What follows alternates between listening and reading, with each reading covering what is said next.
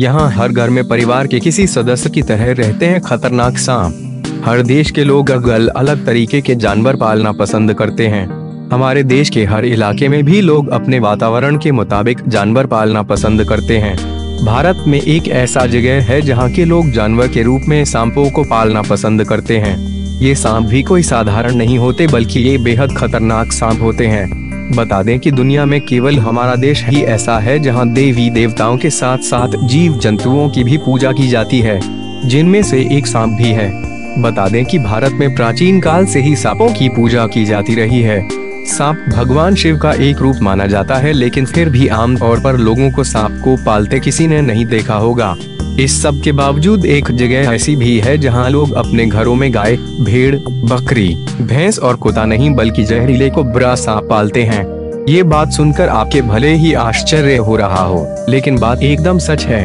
दरअसल, महाराष्ट्र के सोलापुर जिला में एक गाँव ऐसा है जहाँ लोग सांपों के साथ दोस्तों जैसा व्यवहार करते हैं। यहाँ के हर घर में कम से कम एक बुरा सांप ज़रूर पाला जाता है। इस गाँव का नाम है शेतफल। शेतफल गाँव के लोग कुबरा सांप को पालना पसंद करते हैं। यहाँ के लोग सांपों की बिल्कुल कुत्ते या बिल्ली की तरह ही परवरिश करते हैं। बता दें कि ये सांप इस गाँव के किसी शख्स को कोई हानि नहीं पहुंचाते। हर साल इस अनोखे गाँव को देखने सैकड़ों लोग आते हैं। बताया जाता है कि इस गाँव में आज तक किसी को सांप ने नहीं काटा।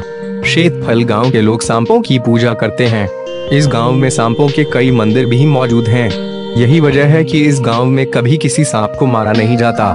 शेतफल गाँव के लोगों का कहना है कि शायद इसीलिए आज तक किसी को यहाँ सांप ने नहीं काटा। यहाँ के स्कूल, कॉलेज के अलावा पब्लिक प्लेस पर भी सांप घूमते दिखाई देना बिल्कुल आम बात है। यही नहीं, इस गाँव के छोटे बच्चे भी सांपों के साथ खेलते हैं। शेतफल गाँव में मकान पक्का हो या कच्चा, हर घर में सांपों के रहने के लिए जगह बनाई जाती है। यहाँ अधिकतर घर कच्चे हैं, लेकिन घरों की छत पर छेद में सांपों के बैठने के लिए जगह होती है।